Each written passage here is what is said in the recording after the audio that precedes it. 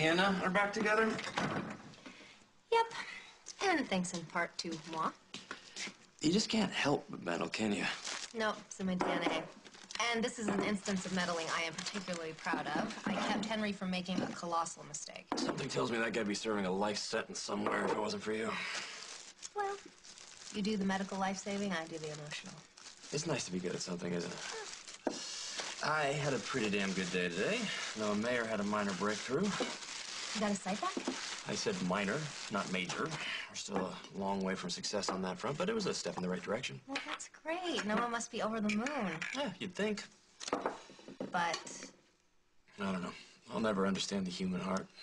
yeah, I've been telling you that since we met. Something tells me this has something to do with Luke, Luke's supposed to be the love of Noah's life, right? right? But Noah dumps him because he claims he doesn't want to be overly dependent on him. Well, don't judge him too harshly. What he's going through can't be easy. No, it's not. It's horrible. So why choose to do that by yourself? Luke's willing to do anything for him, but Noah doesn't want that. He breaks up with Luke because Luke loves him too much? I don't know. I thought you were the doctor who prided himself on not giving a damn about his patient's personal life. Yeah, I never had to deal with both members of the couple on a professional level. Still, why do you care? Luke's willing to do anything for Noah, including blackmail. Yeah, don't ask. But Noah's willing to chuck it all away for I don't know what. Pride? It's, it doesn't make any sense. Oh my god. What?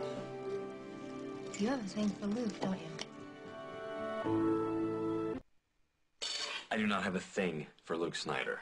You know, it's his fault that I'm stuck in this one-horse town to begin with. Yeah, but a lot's changed since then. You even decided to stick around this one-horse town. Thanks to a very generous offer from Bob Hughes. And some very generous help from Luke. Yeah, that's exactly what I'm talking about. The guy thinks he can buy and sell anything, including people.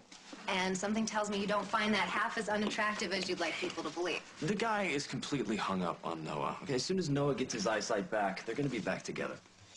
And that doesn't make you jealous at all. Katie, What? Luke and Noah are destined to have a very long life together. They're the gay Bob and Kim. Just hang on to those decorations. You can use them when they celebrate their 25th anniversary. Okay, fine. Whatever you say. Oh, it's wrong. One matchmaking success a week isn't enough for you? Why don't you have a life of your own? I have a baby and a job. I don't have time for a life. And don't try to turn this around on me. We were talking about your love life. And now we're done talking about it. If you'll excuse me, I have a phone call to make. Oh, hold on. I have another call coming in and I have to take it. All right, thanks. This is Luke. Mr. Snyder, this is Dr. Oliver. I have something I need to tell you.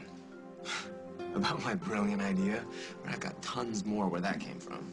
No, it's about Noah. What about him? We had some good news today. Really?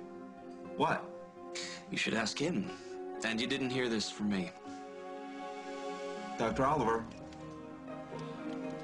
Hello?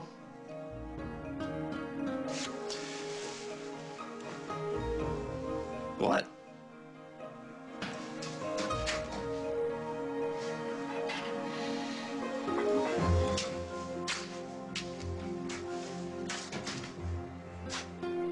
Luke?